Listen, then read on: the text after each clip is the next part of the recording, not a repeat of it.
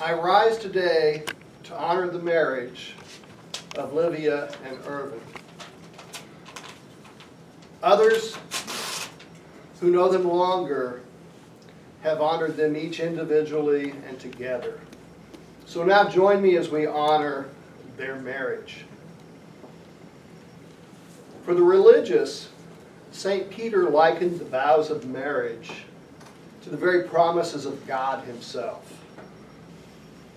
Throughout human history, in all societies around the entire world, marriage is held as sacred and precious. Once in Brazil, they dropped two bottles into the Atlantic Ocean together at the same time. One bottle circled South America to the Pacific Ocean and washed ashore in Ecuador.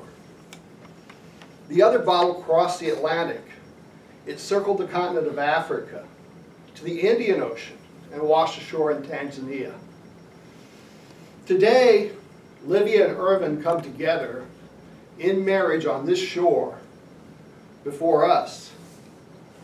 Their families come from widely different places, but they found themselves together here in Southern California.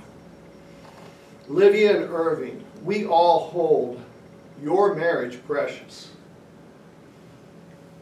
May you treasure it like a rare jewel. May you honor and revere it like the person who you hold most virtuous and honorable.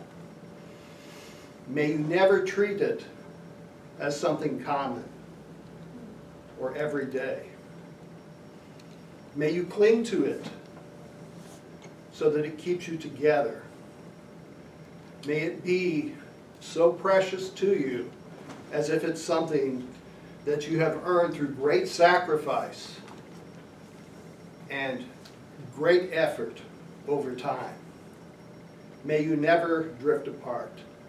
My fellow lusty guests, stand, charge your glasses, and raise them now to the marriage of Livia and Irving.